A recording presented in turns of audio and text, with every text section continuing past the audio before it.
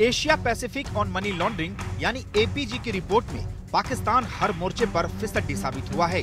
Asia Pacific on money laundering, यानी APG की report में पाकिस्तान हर मोर्चे पर फिसड्डी साबित हुआ है। मनी लॉन्ड्रिंग और टेरर फंडिंग के खिलाफ कार्रवाई के 10 मानदंडों में पाकिस्तान नौ में फिसड्डी रहा, जबकि एक में उसे मध्यम स्थान हासिल हुआ है। इस बात का खुलासा एपीजी की म्यूचुअल इवोल्यूशन रिपोर्ट में हुआ है। इस रिपोर्ट में कहा गया है कि United Nation Security Council resolution 1267 को लागू करने के लिए सही कदम नहीं उठाए गए। Asia Pacific on money laundering यानी एपीजी की रिपोर्ट में पाकिस्तान हर मोर्चे पर फिसड्डी साबित हुआ है। मनी लॉन्ड्रिंग और टेरर फंडिंग के खिलाफ कार्रवाई के 10 मानदंडों में पाकिस्तान नौ में फिसड्डी रहा। जबकि एक में उसे मध्यम स्थान हासिल हुआ है। इस बात का खुलासा एपीजी की म्यूचुअल इवोल्यूशन रिपोर्ट में हुआ है।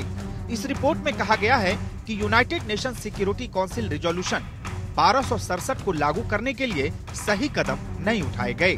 रिपोर्ट के मुताबिक पाकिस्तान सरकार ने आतंकी संगठन लश्कर ए तैयबा, जमात उद्दाबा और फला ए इंसानियत फाउंडेशन और इनके सरगना हाफिज सईद के खिलाफ ठोस कार्रवाई नहीं की है। APG Financial Action Task Force, यानी FATF की क्षेत्रीय संस्था है। अमेरिका, फ्रांस, जर्मनी, इंग्लैंड के दबाव के बाद एफएटीएफ पाकिस्तान को जून 2018 से संदिग्ध सूची में डाल चुका है।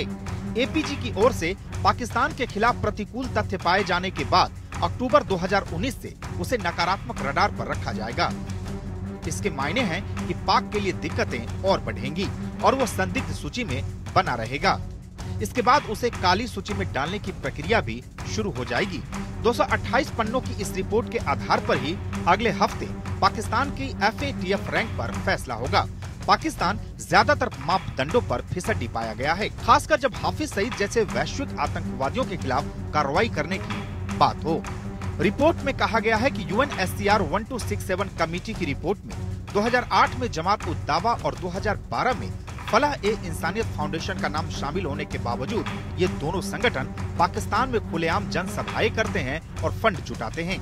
पाकिस्तानी मीडिया में ऐसी कई रिपोर्ट सामने आई हैं, जिसमें मानवीय राहत और सहायता के नाम पर इन्हें चंदा वसूलते देखा गया है। इन संगठनों की ओर से एंबुलेंस सेवाएँ जारी रखने पर भी सवाल उठाए गए हैं कि इनकी फंडिंग के खिलाफ कारगर कार्रवाई की गई है या नहीं? पेरिस में होने वाली एफएटीएफ की बैठक में भारत का पक्ष मज़बूत रह सकता है। लेकिन पाकिस्तान को ब्लैकलिस्ट करने की उसकी कोशिश उतनी आसान नहीं है, क्योंकि पीपल्स बैंक ऑफ़ चाइना के जियांगमिन लियू फ़िलहाल एफएटीएफ के चेयरमैन हैं। Bureau report.